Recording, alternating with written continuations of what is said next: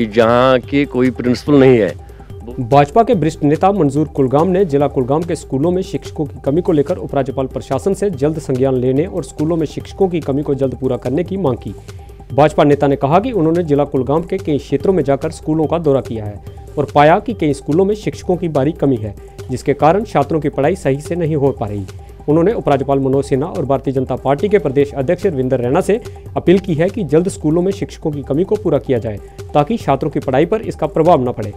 कुलगाम से आशिक अली की रिपोर्ट। और मैं आज डिस्ट्रिक्ट कुलगाम का मैंने दौरा किया है।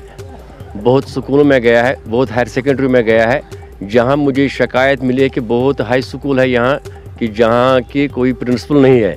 बहुत सारे हाई स्कूल है जहाँ हेडमास्टर नहीं है।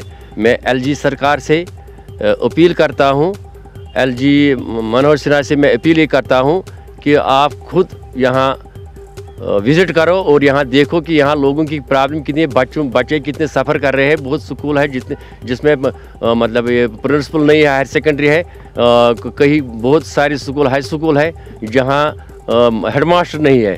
तो मैं अपनी पार्टी से भी चीफ रविंदर रैना से भी ये अपील करता हूँ कि इस पर गौर करें और इन स्कूलों और इन हायर सेकेंडरी में जो तैनात प्रिंसिपल या हेडमास्टर है, उनको तैनात जल्द अज जल्द करो।